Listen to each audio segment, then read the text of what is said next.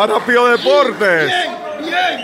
Rigoberto, ¿qué significa esta gran victoria del equipo dominicano A nosotros frente significa mucho. a Alemania? Eh, tú sabes, eh, la mentalidad de nosotros cuando venimos a este juego era que le íbamos a tirar todo, lo teníamos bien cauteado a ellos.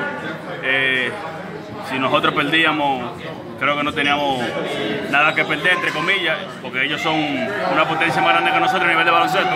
Pero hoy le demostramos a, a los demás equipos que hoy podemos competir tú a tú contra quien sea.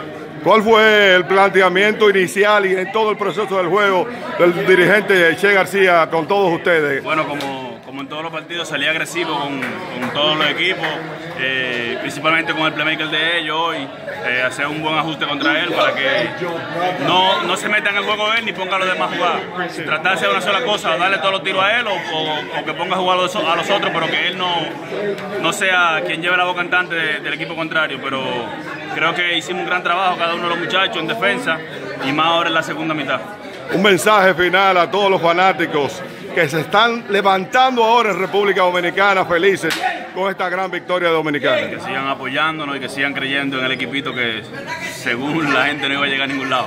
Estamos en la segunda fase del Per- mundial. perfecto.